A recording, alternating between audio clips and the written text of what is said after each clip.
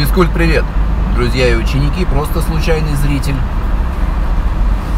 Давайте поговорим сегодня в очередной раз, с чего начать свои тренировки, с чего начать свой путь в бодибилдинге, в построении красивого, сильного, спортивного, здорового тела. Естественно, все мы хотим не просто так ходить в тренажерный зал, а хотим получать помимо удовольствия еще и результат. На самом деле, друзья, проще всего, конечно же, купить мою книгу. Есть отдельно для парней, отдельно для девчонок. По ступеням все разложено. И это сейчас не реклама. Почему? Потому что все это есть в открытом доступе. Все ступени, все тренировки для парней, для девчонок есть в открытом доступе. Но в книгах информация собрана, укомплектована, есть некоторые эксклюзивные моменты. Ну и вообще это большой как бы труд, э, не только мой, но и издателя. И лично я бы рекомендовал все-таки приобретать книгу, потому что многие жалуются, что им тяжело искать информацию на сайте. Но, повторяю, на сайте есть все абсолютно бесплатно. И сейчас я поговорю конкретно про парней, потому что девчонки более грамотно, что ли, более скрупулезно ко всему подходят. У них больше, ошиб... меньше ошибок, нежели у парней, у которых огонь и тестостерон в заднице горит. И поэтому хочется прыгнуть на коня и вперед на танки. Вот как раз таки этого, друзья, вам и следует избегать. Что нужно знать? Любой из моих зрителей учеников скажет, что самое главное на начальном этапе тренинга – это построение силового фундамента, силовой базы. В таких четырех упражнениях, которые по сути могут заменять все остальные упражнения и должны это делать. Это приседания и становая тяга и подтягивание, отжимания от брусьев. Эти упражнения делятся на два дня и выполняется в один день присед и брусья, в другой день выполняются становые тяги и подтягивания. Вы таким образом прокачиваете, тренируете абсолютно все мышечные группы, которые есть у вас в теле. Кто-то скажет, а как же бицепс и трицепс? Друзья, подтягивания были, остаются и будут лучшим упражнением на бицепсы. А отжимание от брусьев это лучшее упражнение на грудные мышцы и на трицепсы.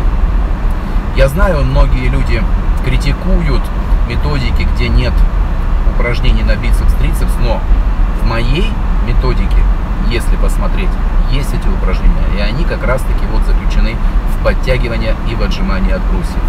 Большинство, да что там говорить, абсолютно все парни исключают такие упражнения тяжелые, как брусья, подтягивания, и прыгают на всеми любимый жим лежа и дрочат свои бицепсы концентрированными сгибаниями на бицепс с гантелькой в 5 килограмм. Друзья, реально от мастурбации больше пользы.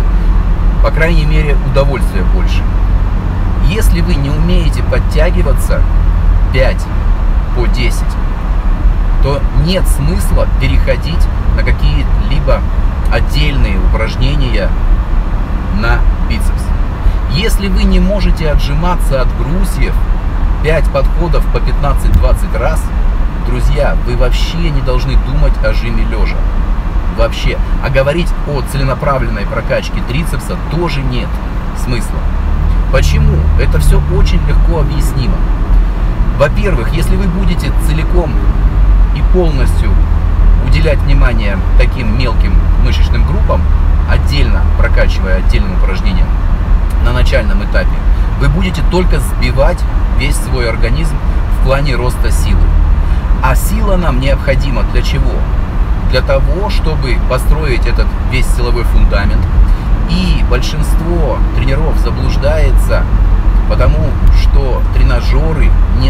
говорят, не укрепляют сухожилия и связки. Только работа с собственным весом. И работа с собственным весом на турнике и брусьях укрепляет целиком и полностью ваши э, сухожилия и связки. Плюс силовая работа со штангой. Когда вам говорят такую чушь, что вам нужно начать работать в тренажерах для того, чтобы окрепнуть, а потом переходить на приседания и становые тяги. Человек, говорящий это, просто ноль вообще в физиологии, вообще в чем угодно. Никогда к такому инструктору не идите, он не научит вас ничему здоровому. Почему? Объясняю. Потому что, когда вы изолированы, а тренажеры, кто не знает, придуманы в первую очередь для реабилитации. Для здорового человека тренажеры не нужны. Я знаю лифтеров, которые только приседают, тянут и выглядят лучше, чем многие качки, чем мы с вами. Все это говорю, очень легко объясняется. Когда вы работаете изолированно, в тренажере, неважно, в упражнении изолированном, вы нарушаете связи нейронные. У нас 100 миллиардов, по-моему, нейронов в мозгу. Кто не знает, это клетки мозга. А эти 100 миллиардов нейронов между собой образуют еще невообразимое число, реально невообразимое, связей между собой. Но, когда вы работаете изолированно, какая получается связка? Получается связка мозг-мышца, нарабатывается изолированное движение. И когда вы потом, якобы укрепив свое тело, а на самом деле сделав себе только медвежью услугу, будете приходить к приседаниям после сгибания и разгибания, тело вообще не сможет согласованно работать. И именно поэтому объясняется простой обычный пример. Сейчас силовая работа есть в любом виде спорта. В NBA, в NHL, бейсболе, в американском футболе я уж не говорю, все работают и имеют определенные силовые нормативы. Почему, ответьте мне, никто не имеет никаких силовых нормативов в сгибаниях на бицепс, в тренажерах?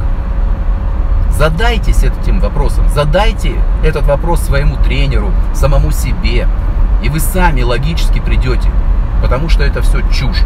Только функциональность а вы многие говорите о функциональности вашего организма, тренировках на функциональность. Так вот, друзья, функциональность это как раз таки базовые, базовые упражнения со штангой и с гантелями, которые учат ваш организм, мозг, мышцы. А если вы не знаете, мышцы тоже дают сигнал обратно мозгу. Работать согласованно. Когда вы наработаете силовую базу, вы увидите, как будет вас переть в бодибилдинге, когда вы сдадите определенные нормативы силовые, которые есть в открытом доступе у меня и в статьях, и в видеороликах, найдите их легко. Посмотрите, все, все бодибилдеры, самые большие, самые мощные, это в первую очередь сильные ребята. Сильные и начинавшие свой путь с пауэрлифтинга. Кто-то с тяжелой атлетики, Посмотрите на Арнольда и на его друга Франка Коломбо. Ребята, да и все бодибилдеры тех времен и выглядели лучше, на мой взгляд, без огромных животов. И многие умудрялись выступать в соревнованиях по пауэрлифтингу, будучи выступающими спортсменами-бодибилдерами. Даже по стронгмену. Насколько я знаю, э, Франко Коломбо выступал и по стронгмену, ломал ногу даже там себе. Друзья, фундамент и залог успеха в бодибилдинге – это начинать с силовых тренировок. Поверьте, даже, а ни в коем случае на начальном этапе нельзя принимать стероиды, без фармакологии вы обгоните всех тех ребят, которые будут начинать свой путь в бодибилдинге именно с бодибилдинга, с тренажеров, с мастурбации бицепсов, с жима лежа. Начните с приседов, начните с тяг, подтягиваний и отжиманий от брусьев.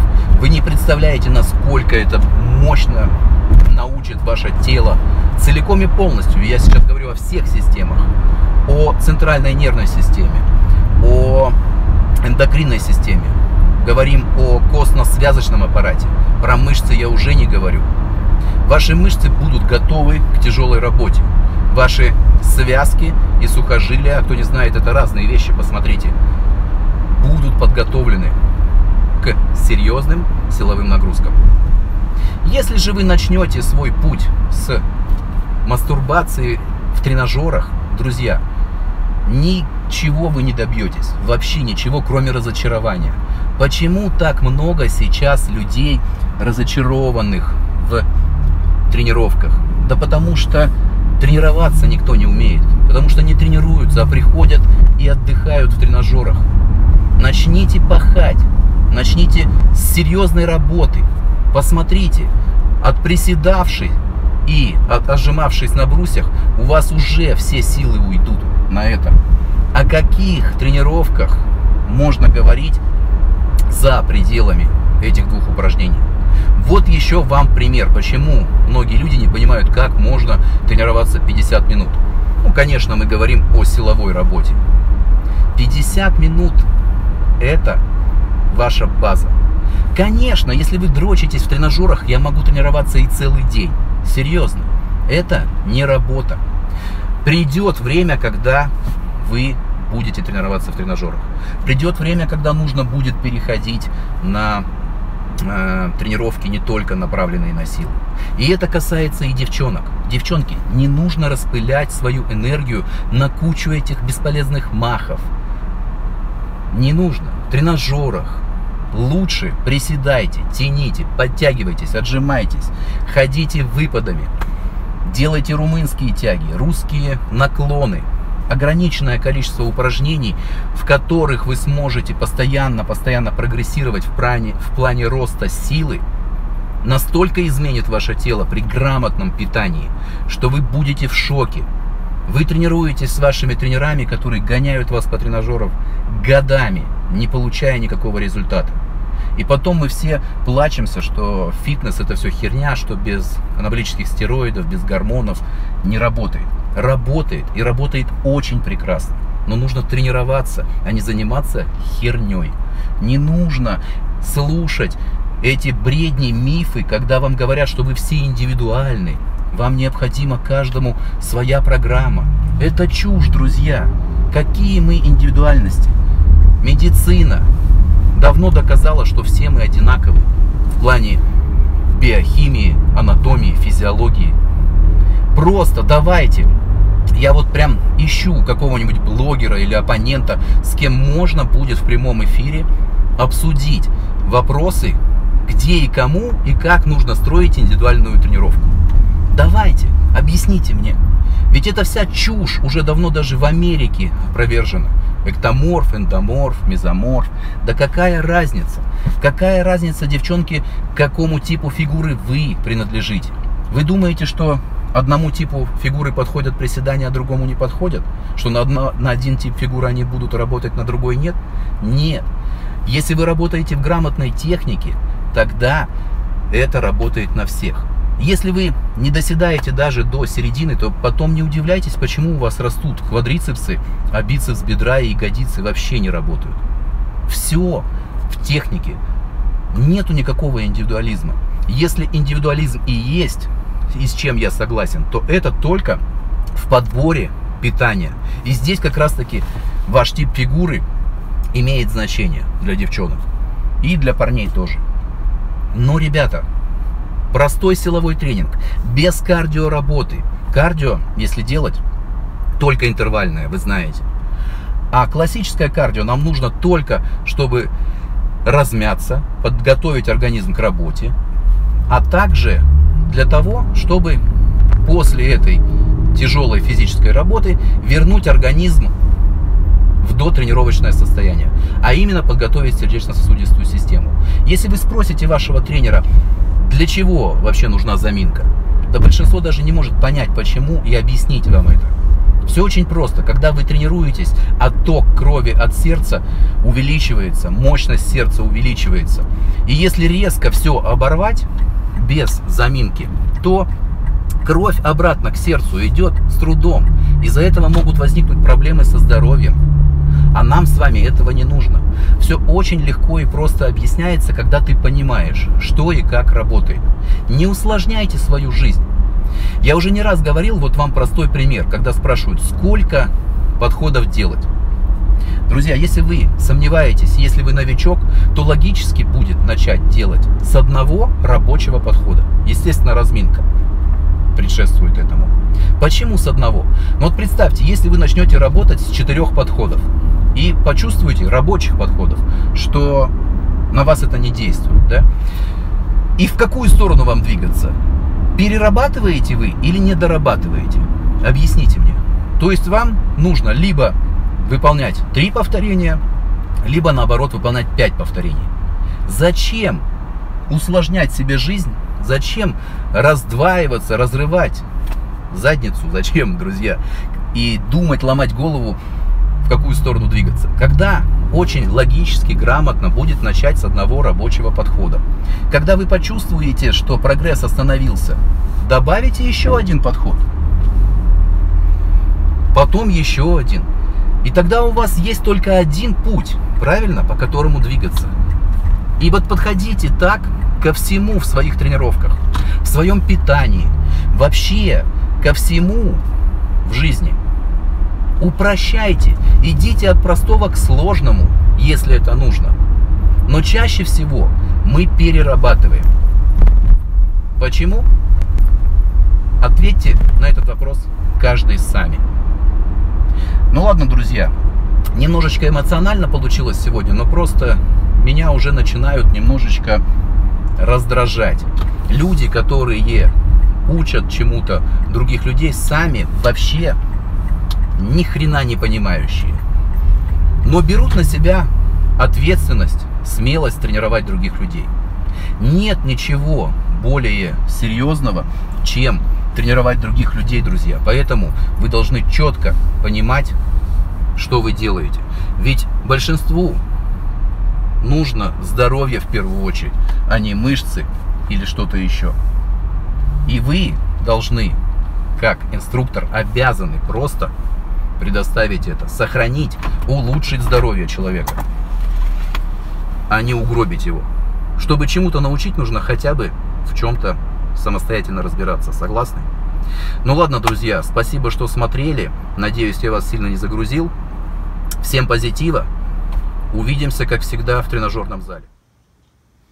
Вот такие вкусняхи новые взял попробовать себе от 5% Rich Piano.